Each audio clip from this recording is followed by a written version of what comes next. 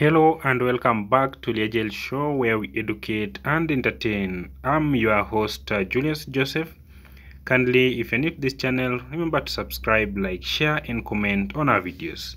In this video, we'll be checking on the management of cash and marketable securities.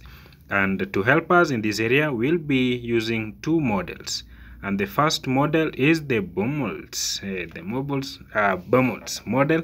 And also we'll be checking another model called the Miller's Orr model. So kindly uh, be around till the end because we'll be able to explain all this one after the other. So in this case, this is the formula of this kind of a model. So C here represent the optimal cash, the optimal cash to be raised by selling marketable securities or even by borrowing. Have, we have two. Then B here, this B here represent the fixed cost of making a security trade T in this case is the total annual cash requirements. Then I is the opportunity cost of holding cash.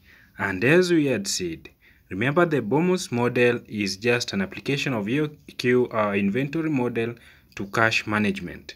And also you can uh, be in a position to uh, actually calculate the total cost of uh, maintaining the cash balances even per year.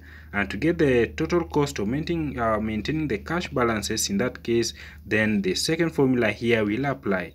That is the half ci plus t over cb and remember the c in this case is the answer that we'll get from this first part of this uh, calculation that is c becomes the optimal cash to be raised I have just said that a few minutes ago there's the opportunity cost of holding cash. T in this case we said was the total annual cash requirements. Then C is the same as that. Then B in this case is uh, the fixed cost of making a security trade. So that is how they relate the Baumol's model and the economic order quantity model. They tend to be similar.